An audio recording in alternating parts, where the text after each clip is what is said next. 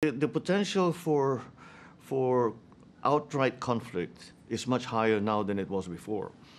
And it, uh, we worry in the Philippines because it could come from not, not a strategic decision by anyone saying, okay, we're going to war, but just by making some, some serviceman making a mistake or some action that's misunderstood. And that's, that's why the, the, the, the, the ongoing attempt is always to try and you know lower the temperature, uh, ease down, ease ease up on the rhetoric, and and communicate and just continue to communicate. That's why you need the phone, the same phone that Khrushchev and Kennedy had, right? That's right. Yes. That is what I proposed.